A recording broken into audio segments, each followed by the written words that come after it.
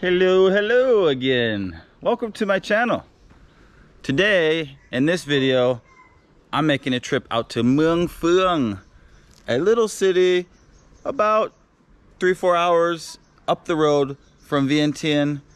And for this video, I'm actually going to a Hmong village. And I met this guy through YouTube.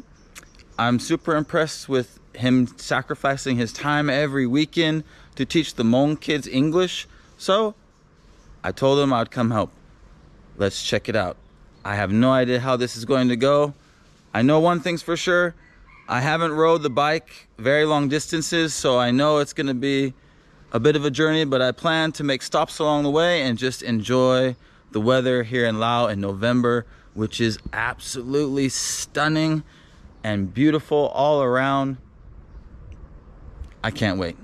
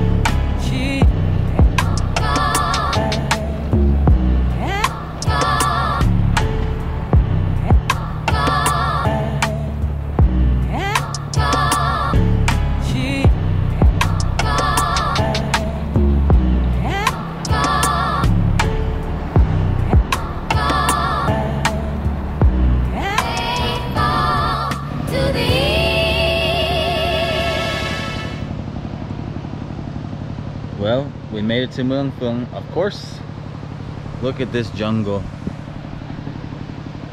There's a waterfall down there. I think we're gonna go walk over there now. We're up on the mountain. There's the iconic mountain over here. You can't see it on here, can you? Nampong village.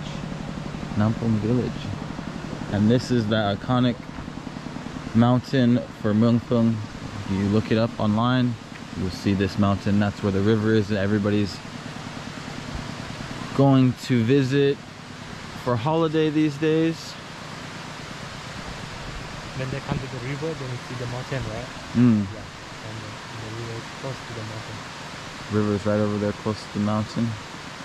I went there right when I got first arrived in Laos. One time. We only stopped for like a few hours and then we had to go.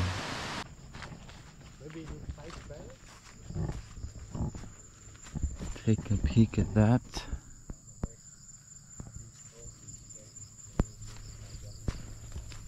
Here with Mr. Tsua.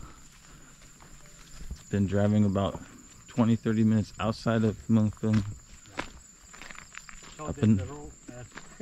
Up in the mountains. wants to come. But it's definitely worth the trip. What you call that, that means farm or film? Farm up there? About the one they just they use to drink with water. Oh. water. How to call that one? Hmm, I'm not sure. What do we call that? It's like a Fountain? film Yeah. net. Whoa. Yeah. I saw your your profile on Facebook, right? And Yeah. and the place you uh, take a photo have a lot of another car. and is Somebody live here or yeah. just. Uh, yeah oh, they don't live here. That's just the Yeah. hut for farming, right? Yeah wow this is a mountain the Chinese is doing something up on the mountain Chinese. To throw off the motorcycle helmet and just enjoy the beauty of this last bit of the ride. It's about sundown here and I can't describe, really I can't describe this guys. As you can see, just the mountains and hills rolling along the horizon.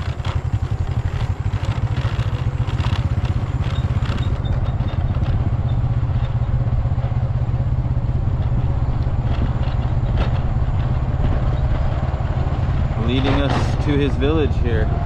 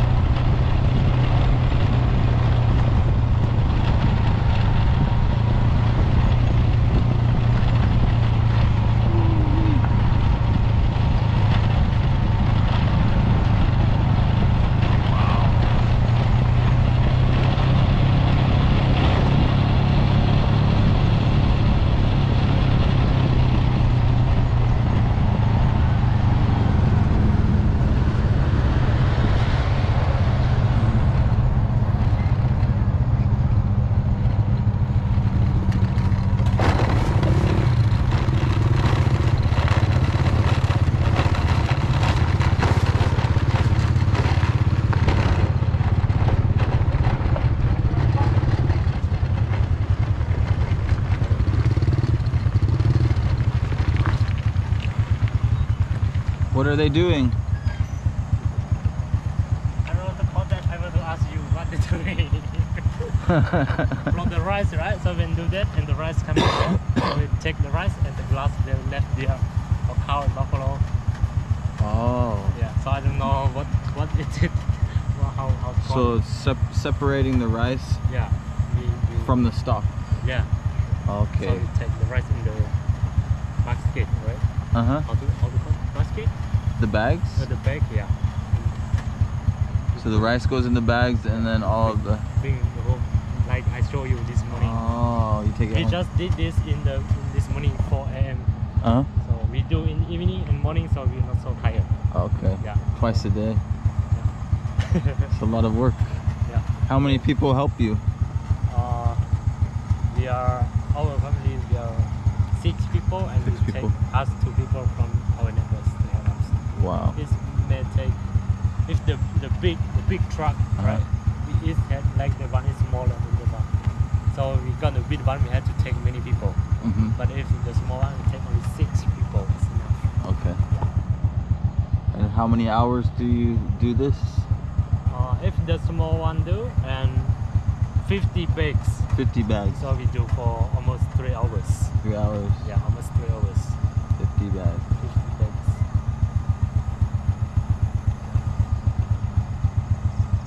We, we went to do this in this morning at 4 a.m. and we finish it and we transfer it tomorrow.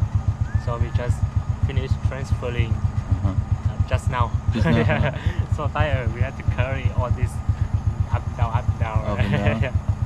Maybe if you want to Tomorrow I can help do you. tomorrow, you can try it. It will be fast. One one more person to help. yeah, sure. Always a good sign when you show up to the school and out front, you've got people playing some sports. That's my kind of school. but this is even cuter. We arrived and we are late and so the kids have been waiting all night to study. Probably won't get to study tonight unfortunately, but we'll make up for it for the next two days. This is my first time here, but it was super cute to watch them all run into the classroom. Look at so cute. Let's take a look at the school that he's built here for out here. We got one room that's not finished.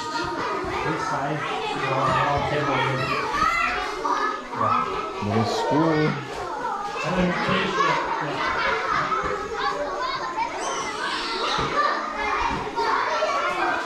Let's see the kids. Now let's say hi to the kids since they all came running in here.